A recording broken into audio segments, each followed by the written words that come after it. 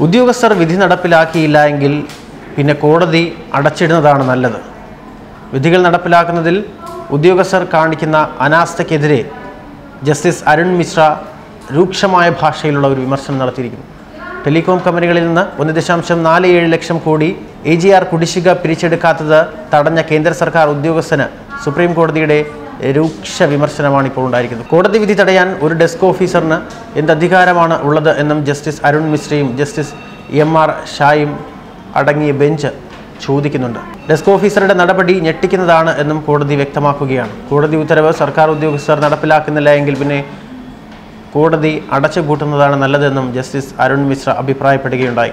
അഴിമതി തുടച്ചു നീക്കാനുള്ള ശ്രമമാണ് തന്റെ ഭാഗത്തുനിന്നുണ്ടാകുന്നത്. എന്നാൽ ജുഡീഷ്യൽ വ്യവസ്ഥയിൽ ബഹുമാനമില്ലാത്തവർ ഈ രാജ്യത്ത് ജീവിക്കാതിരിക്കുന്നതാണ് നല്ലതെന്നും ജസ്റ്റിസ് അരുൺ മിശ്ര ചൂണ്ടിക്കാട്ടുകയുണ്ടായി. കോടതി ഉത്തരവ് പ്രകാരം പിരിക്കേണ്ട പണം സർക്കാർ ഉദ്യോഗസ്ഥർ പിരിക്കുന്നില്ല എന്നും ടെലികോം കമ്പനികൾ പണം നൽകുന്നില്ല എന്നും ഈ രാജ്യത്ത് എന്താണ് നടക്കുന്നതെന്നും ജസ്റ്റിസ് അരുൺ മിശ്ര ആശങ്കയോടെ ആരാഞ്ഞിട്ടുണ്ട്. സുപ്രീം കോടതി വിധിക്കെതിരെ സർക്കാർ ഉദ്യോഗസ്ഥർ നിലപാട് സ്വീകരിക്കുകയാണ് എങ്കിൽ ഈ രാജ്യത്ത് ഇനി എന്ത് നിയമമാണ് അവശേഷിക്കുന്നത് എന്നും ജസ്റ്റിസ് മിശ്ര ചോദിക്കുകയാണ്.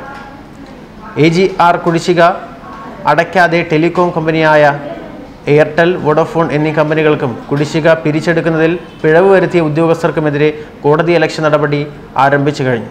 പണം അടച്ചില്ല എങ്കിൽ ടെലികോം കമ്പനികളുടെ സി എം ഡിമാരോടും ടെലികോം വകുപ്പിലെ ഉദ്യോഗസ്ഥരോടും പതിനേഴിന് നേരിട്ട് ഹാജരാകാൻ ജസ്റ്റിസ് അരുൺ മിശ്രയുടെ അധ്യക്ഷതയിലുള്ള ബെഞ്ച് നിർദ്ദേശിച്ചിട്ടുണ്ട്. ഇതുപോലെ തന്നെ കേരളത്തിലും ഇത്തരത്തിലുള്ള ഒരു പരാമർശം ഹൈക്കോടതിയുടെ ഭാഗത്തു നിന്ന് ഉണ്ടായിരുന്നു. ശബരിമല വിഷയവുമായി ബന്ധപ്പെട്ടുള്ള ഒരു കാര്യത്തിലായിരുന്നു ഹൈക്കോടതിയും അത്തരത്തിൽ ഒരു പരാമർശം നടത്തിയത്. ഉദ്യോഗസ്ഥർ അവരുടെ ജോലി കൃത്യമായി ചെയ്യുന്നില്ല എന്നുള്ള പരാമർശം തന്നെയാണ് അവർ നടത്തിയത്. പിന്നെ എന്തിനാണ് ഈ കോടതി എന്നുള്ള ചോദ്യം കേരളത്തിലും ഉന്നയിക്കപ്പെട്ടിരുന്നത്? അതിന് പിന്നാലെയാണ് ഇപ്പോൾ ജസ്റ്റിസ് മിശ്രയുടെ ചോദ്യവും വന്നിരിക്കുന്നത്. ന്യൂസ് ഡെസ്ക് മലയാളി വാർത്ത.